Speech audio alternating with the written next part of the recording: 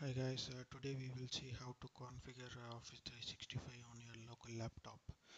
Uh, so uh, first go to portal.office.com and uh, then enter your ID, Office 365 ID, then your password.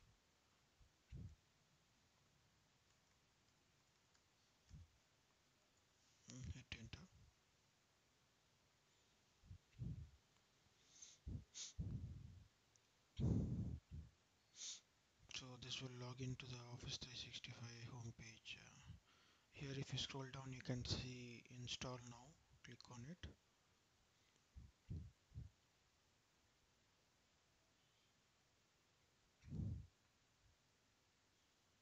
So this will download the setup.exe to install Office 365 on your local computer.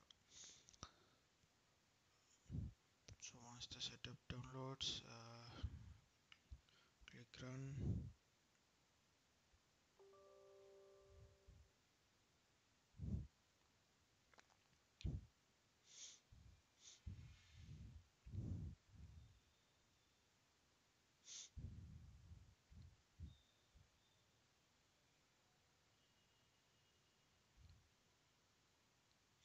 So it's saying that uh, I already have a 64-bit version of Office installed, so I can't install on this Office 365 32-bit uh, because Office 365 is a 32-bit program.